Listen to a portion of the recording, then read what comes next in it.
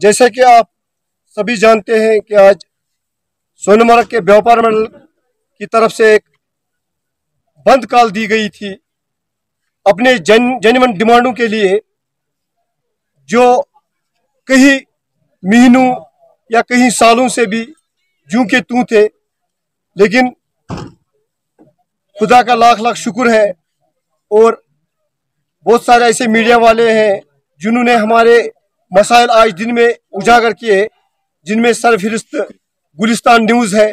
के वजह से हमारे मसाइल उजागर हुए हैं। और ख़ासकर पाँच का पंच जो आज आप मैं लाइव था गुलिस्तान न्यूज़ पे तो मैंने उस टाइम भी कहा था कि सोनमर्ग बंद है। और सोनमर्ग कल बंद होनी थी,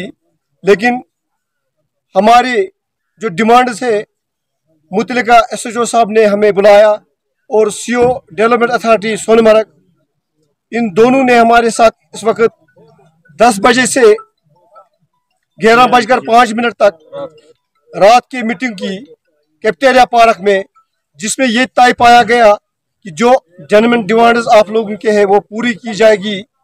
और टूरिस्ट प्लेस सोनमर्ग को फिर से रौनक बख्शा जाएगा।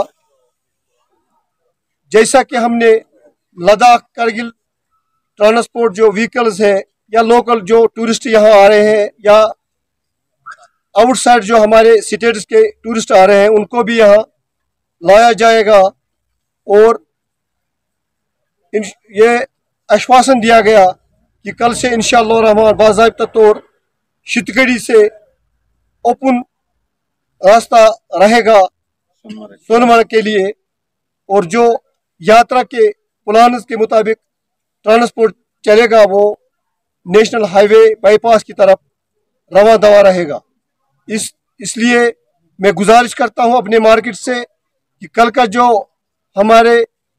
कॉलेज, हड़ताल की कॉलेज थी, वो कल इंशाल्लाह रहमान आप नहीं रहेगा।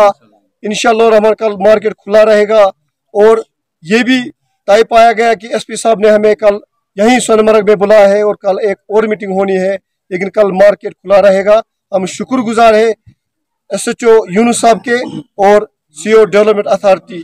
जो यहाँ पर मौजूद था, उनका हम शुक्र गुजार है।